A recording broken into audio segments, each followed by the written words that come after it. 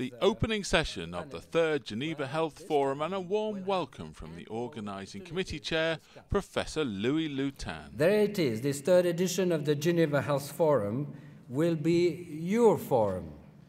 You as participants, you as chairs and speakers have a unique opportunity to create success through your enthusiasm and expertise. In spite of massive travel disruption caused by the Icelandic volcanic ash, the conference participants were eager to get underway. As none of the original speakers from the first plenary session could now attend, a team from Antwerp's Institute for Tropical Medicines stepped in to examine case studies from the Democratic Republic of Congo via a Skype link from Thailand and from Uganda. Countries in the south, developing countries are really trying their best as a kind of natural experiment to strengthen health systems. I think it's very important that to look at these different countries, how they are doing to strengthen health systems.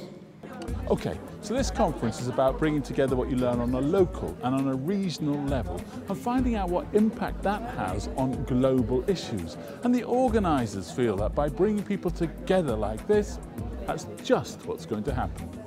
Actually, I'm working for Partnerships in Health, and we do have tomorrow a poster presentation.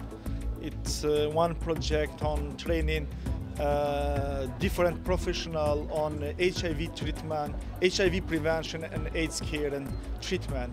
I hope to have an opportunity to tell what India is doing in the field of healthcare, particularly in the field of telemedicine and e-health.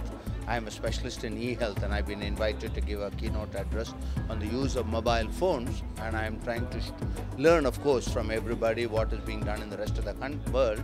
But primarily I would like to advocate the use of mobile phones as a healthcare provider in the developing countries and emerging economies. Uh, you know, I'm a, I'm a nurse at uh, Geneva Hospital and I am very interested to, to know what happened in the world and uh, had the, the, opportunity to make some mission in Mozambique and Eritrea and uh, I'm interested to know what happened there and how we can help if I can help.